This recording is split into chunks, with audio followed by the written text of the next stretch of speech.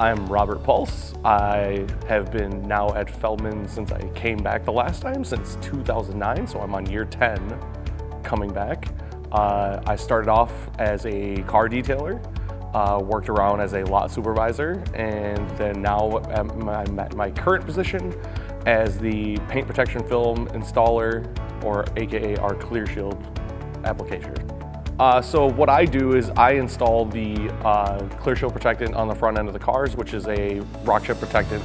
Uh, it basically goes up about two feet onto the hood and covers the whole entire front end of the vehicle.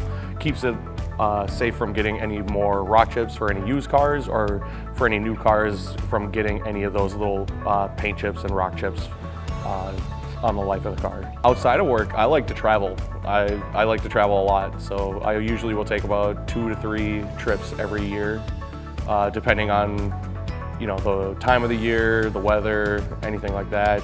I like to try to do at least like one in the wintertime, one in the summertime, one in springtime, or fall, depending on the, how everything's working around my schedules here.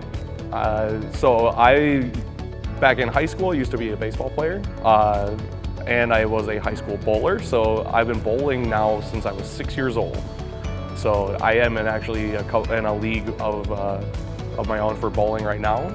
We're actually in our championship game right now, so we're at the end of the season. But uh, so yeah, uh, avid bowler, uh, love baseball, uh, got season tickets to the tw Minnesota Twins, uh, and then also I at my other job that I work at, I am a flowboarder. So uh, pretty much I surf around on man-made surfing waves to go ahead and do that. So I used to travel around the country professionally doing that for a time or two.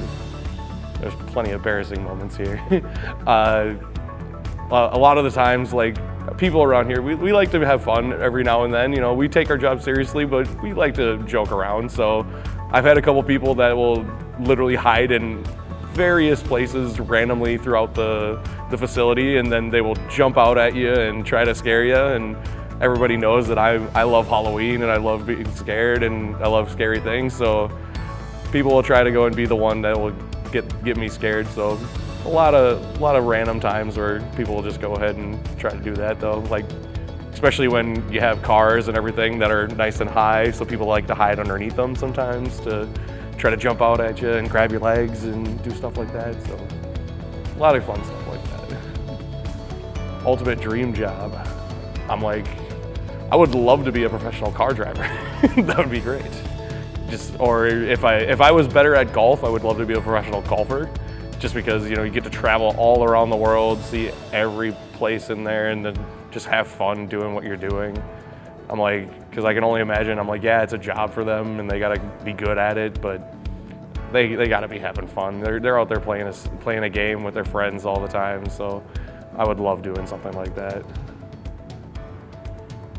What's the best advice you can give someone new to this company? Ooh, new to this company. Uh, enjoy yourself. That's my big thing, because a lot of things are gonna get thrown at you right away, and it's the little things that make your day go by.